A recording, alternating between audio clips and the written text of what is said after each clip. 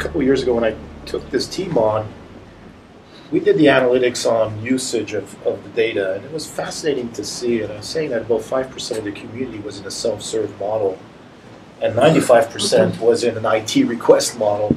So if you're not if you're not fearful about uh, disintermediating yourself and, and looking at that, what we developed was a fairly simple process around looking at intake, taking a look at the user community who's requesting this stuff, and then sending out the, the IT folks to actually educate them on how to move to self-service. We've moved the self-service from 5 to 25%. And so that does a couple of things. A, lowers the cost of, of IT and, and certainly does a huge value around that. But I think it, it emanates the uh, usage and, and the uptake into the community with, with much more, you know, much more appeal so that when you're putting together a, a proposal, you know, more and more people will get it.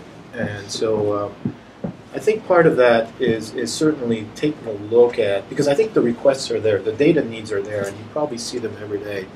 And then analyzing, you know, how do I get people to try and learn more about this on their own. And I think we've had a good success story around that, and we keep marching down that path. But what we're seeing is in the different work groups, they have champions, right?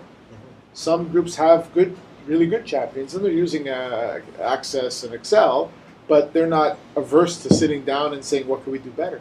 But then there's other work groups that don't. They don't have a champion. You know, they just continue slugging away and making requests Yeah. of IT Yeah. or, or or what have you. So that that part of the problem, you know, the have and have nots is an issue as well. So my my approach to some of the senior managers over the next year is going to be that I, I want to co-opt those people. They don't have to work for me, but the idea is that create a team in your group that will right. help feed, That's right. and they'll start thinking about the models, and we'll help them get there. Um, but you got to shed other other work that they have, right? You can't also make them be the you know the widget boxer. You can't do that as well as this, right? They're going to have to create some focus, and then we'll supply them the data, the tools, because they understand the, the day-to-day business better than better than we do. The first step we did was establish, you know, a, a center of excellence, and you know, to, to speak to your or BI, what we call our, our BI delivery center.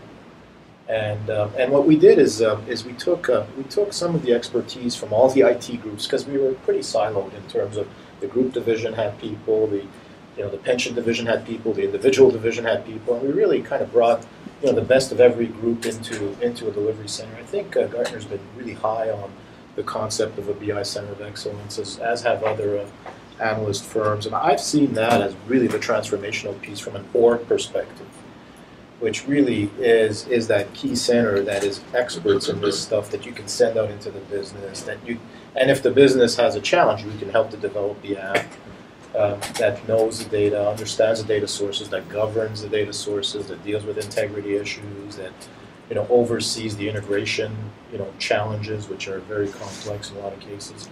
So they've got a very distinct role. The group is about 40 people now in Sun Life and it's grown from from quite a bit, but uh, I that's a real competitive asset in my mind in, in getting this this relationship with business and and, um, and other groups really working. And I'd say it's a hybrid business IT group. Really, it's not it's not just a pure IT group. I think, it, I think it comes down a little bit to mandate. Is what I'm looking at now with this data transformation. Because I'm like, should I take the lead on this, or should the business take the lead, or whatever? So I've gone back to uh, an enterprise architecture model, which has five layers. So there's a five-layer architecture model. Just go through. So you, at the top, you have the business architecture, where the business is carrying on. Then you've got the next layer, which is the information architecture. Then you've got the next layer, which is the business systems architecture. Then you have your next layer, which is the data architecture.